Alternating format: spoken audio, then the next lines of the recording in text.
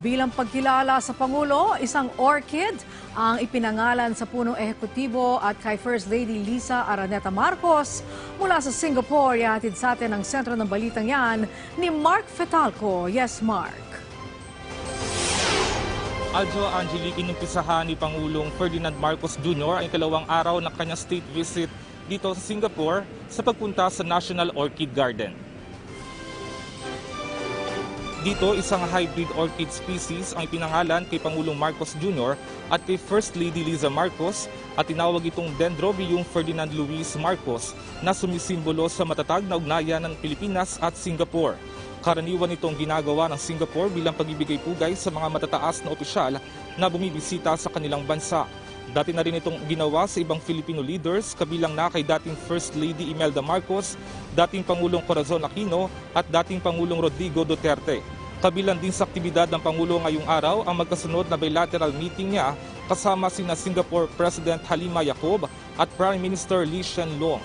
Dito sasaksihan ng Pangulo ang paglagda sa ilang kasunduan at kabilang na rin sa inaasahang lalagdaan ngayong araw ang joint communique kaugnay sa pag-hire ng karagdagang Pinoy healthcare workers sa Singapore. Sa isang press conference, sinabi ni Press Secretary Trixie Cruz Angeles na kabilang din sa mga mapag-uusapan ang tungkol sa socio-cultural cultural at people-to-people exchanges. Partikular na dito ang two-way tourism sa post-pandemic era, lalo't ang Singapore ang tinuturing na top source of tourists sa ASEAN noong 2019. Tapos may mutual recognition ng vaccine certificates, mahalaga para dun sa pag, ah, pag-travel natin between these two countries. Ah, Singapore, Singapore's Technical and Human Resource Development Assistance to the Philippines. Ngayon po pag-uusapan ang detalye niyan. Dagdag pa ni Secretary Angeles, inaasahang mapag-uusapan din ni na Pangulong Marcos at uh, Singaporean President Halima Yacob ang tungkol sa pinag-aagawang teritoryo sa West Philippine Sea.